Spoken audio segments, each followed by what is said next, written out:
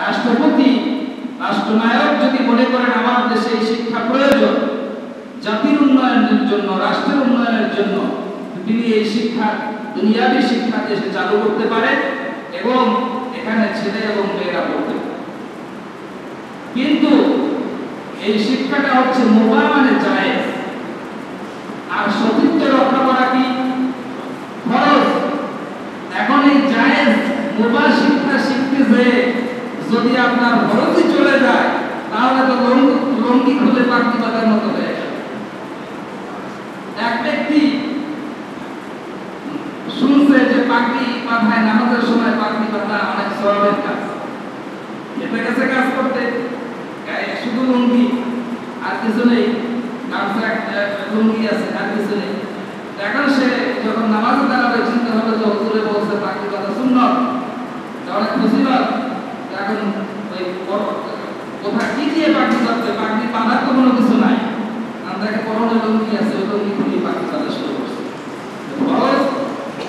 contracampo.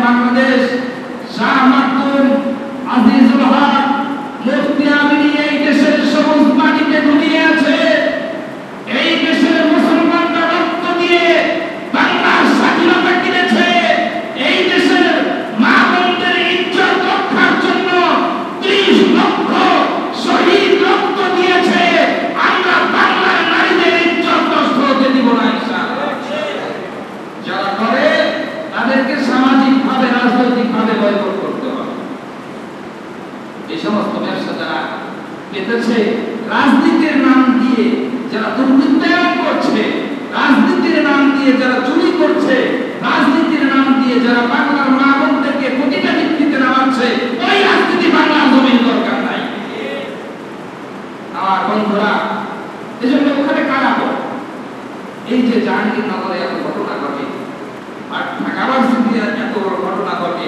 ইডেনে এত ঘটনা ঘটে কারা করে আমাদেরই কারও মা করে কারও বোন করে কারও মেয়ে করে কোন স্বার্থে আমরা ওখানে পাঠাচ্ছি দুনিয়াতে একটু স্বার্থের জন্য আমরা আমাদের মেয়েদের সতীত্ব নষ্ট করতে ওখানে পাঠাচ্ছি আগে দেখেন পরিবেশ কেমন সেখানে আপনার মেয়েকে পাঠাচ্ছেন আপনার মেয়ে সতীত্ব রক্ষা হয় কিনা সেই বিষয়টি খোঁজ নিয়েছি কখনো? ঢাকা ভার্সিটি এলাকায় যখন যাওয়া হয় ইডেন কলেজের এলাকায় যখন যাওয়া হয়, এত ধরনের লজ্জাস্কর কাজ ওখানে জনসংরক্ষণ করতে করে যা ভাষায় প্রকাশ করার মতো না। এরপরও মুসলমানের সন্তান ওই ওই সমস্ত শিক্ষা প্রতিষ্ঠানে কিতাবে আর যখনই এর বিরুদ্ধে কথা বলা হবে বলবে যে ইসলাম তো নারী শিক্ষা বিরোধী। ইসলাম নারী শিক্ষা বিরোধী নয়। সবচেয়ে বেশি হাদিস বর্ণনা করেছেন হযরত আবু হুরায়রা রাদিয়াল্লাহু তাআলা আনহু। তারপরে সবচেয়ে বেশি হাদিস বর্ণনা করেছেন উম্মাহাতুল মুমিনিন হযরত আয়েশা রাদিয়াল্লাহু তাআলা আনহা। পৃথিবীর ইতিহাসে বড় বড় সাহাবী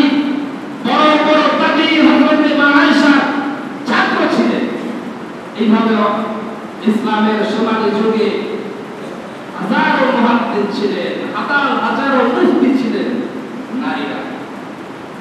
মসজিদে নবমীতে নারীদের দর্শ হয়েছে, সেখানে ইমাম মালিক রহমতুল্লাহ একজন নারীর কাছে দর্শ নিয়েছে ইসলাম নারী নয় কিন্তু এই নারী শিক্ষার নাম দিয়ে প্রতিটা ব্যক্তি করা হবে ইসলাম এই সমস্ত নষ্টামিকে কোনোদিন সমর্থন করতে পারে না ঠিক তেমনি ভাবে বাংলার মুসলমানও সমর্থন করতে পারে না এই জন্য বন্ধুরা আমার আমাদের কদিন আগে রিপোর্টে দেখলাম যে ঢাকাতে দশটি স্কুলে জরিপ করা হয়েছে এই দশটি স্কুলে জরিপ করার পরে দেখা গেছে যে দশটি স্কুলের মেয়েদেরকে জরিপ করার পরে দেখা গেছে যে নাইনটি নাইন পার্সেন্ট মেয়ে ক্লাস এইটের পরে যৌন সম্পর্কে জড়িয়ে যৌন সম্পর্কে জড়িয়ে পড়ে ক্লাস এইটের পরে। জেনা এবং বেড়ে গিয়েছে। এই যে মেয়েদেরকে আমরা ছেড়ে দিয়েছি স্কুল কলেজে, কোথায় যায়, কি করে, কার সাথে থাকে? আমরা অনেকেই লক্ষ্য করি। এই জন্য যদি পড়াতে হয়, তো আপনি দেখেন পরিবেশ ভালো কিনা, সেখানে আপনি দেন, আপনি নিজে নিয়ে যান, নিজে নিয়ে আসেন। বাচ্চাদের কীভাবে ছাড়বেন না বাচ্চারা বুঝে না? এরা অমরস এরা নিজেদের যৌবনের ধারণায় অনেক কিছু করে ফেলতে পারে।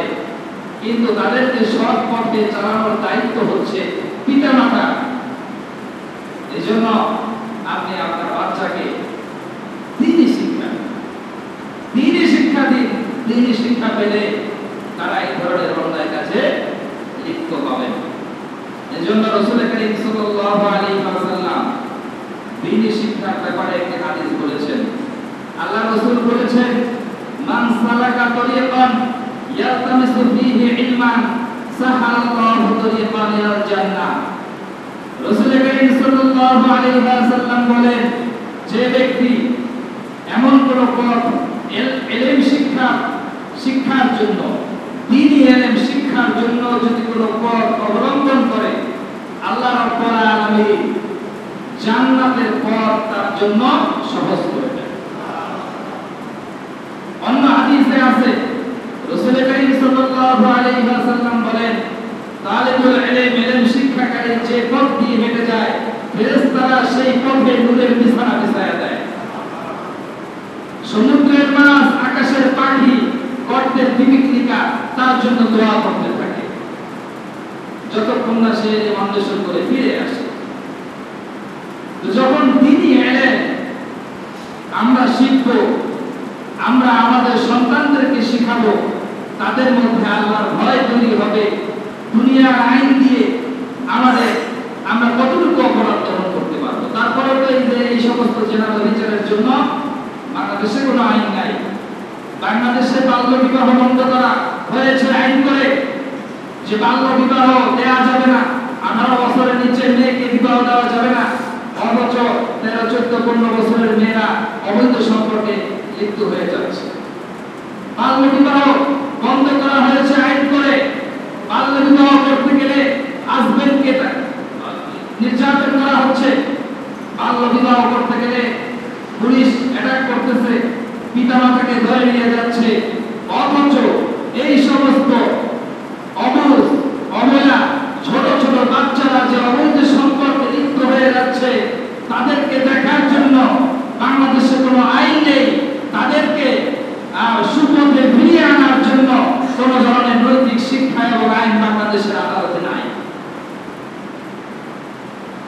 তাহলে কোথায় আছি আমরা এটা হচ্ছে পাশ্চাত্যের পরিকল্পনা পাশ্চাত্য দেখেছে যতদিন মুসলমানদের মধ্যে ঈমান আছে মুসলমানদেরকে দমিয়ে রাখা যাবে না যতদিন এই মুসলমানদের বুকে কোরআন আছে মুসলমানদেরকে দমিয়ে রাখা যাবে না মুসলমান যদি কোরআন শিক্ষা করে আল্লাহ রাব্বুল আলামিন বলেন ইন্নামা ইয়াখশাল্লাহু মিন ইবাদিহিল উলামা বান্দাদের মধ্যে যারা আলেম তারাই আল্লাহকে বেশি ভয় পায় যখন কোরআনের জ্ঞান আসবে হাদিসের জ্ঞান আসবে অন্তরের মধ্যে আল্লাহকে ভয় পাবে সমস্ত গুনাহ থেকে বাঁচবে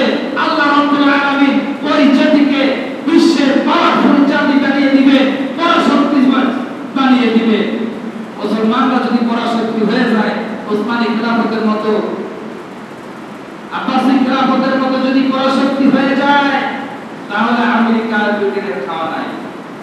এই জন্য মুসলমানদের ইমানি শক্তি ধ্বংস করে দেওয়ার জন্য এই পাশ্চাত্য ইংরেজরা এই দেশে এই ধরনের পাশ্চাত্য শিক্ষা চালু করেছে আর ইসলামী শিক্ষার হাজার হাজার কেন্দ্র বন্ধ করে দিয়েছে।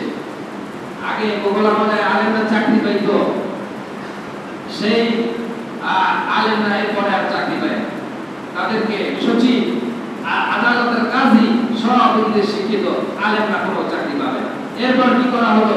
আলেমদের থেকে মুসলমানদেরকে আলাদা করার জন্য আলেমদের বিরুদ্ধে ইসলামী শিক্ষার বিরুদ্ধে দুশো বছর যাবত প্রোপাগান্ডা চালানো হয়েছে এখনও হচ্ছে।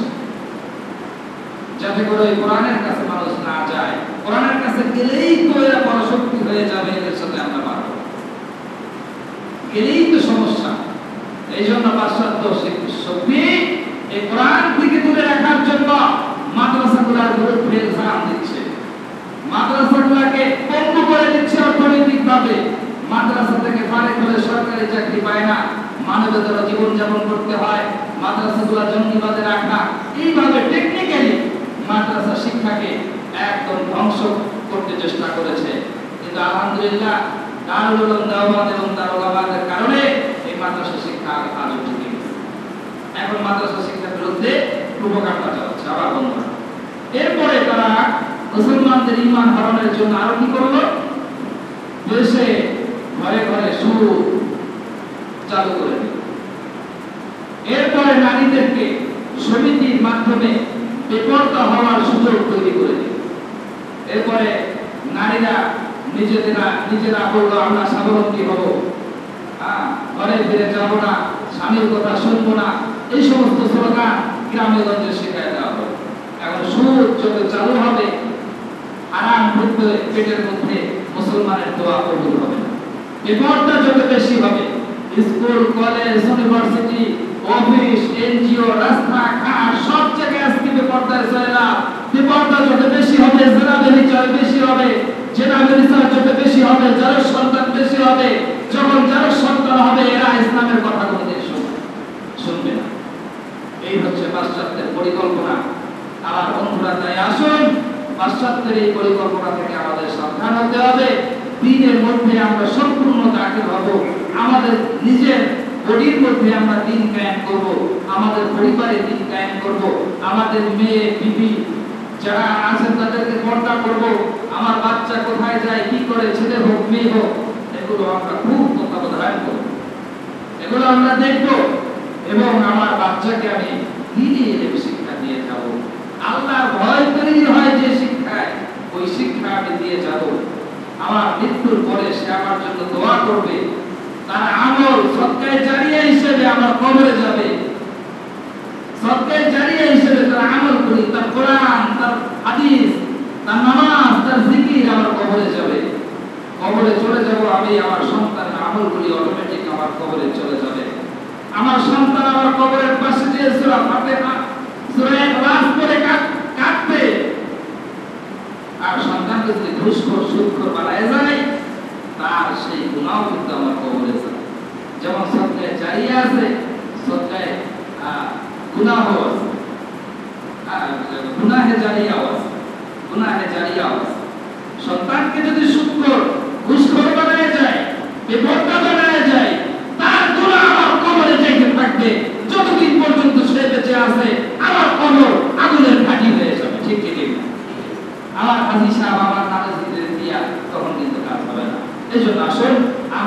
নিজেরাও দিনের মধ্যে দাখিল হয়ে যাই।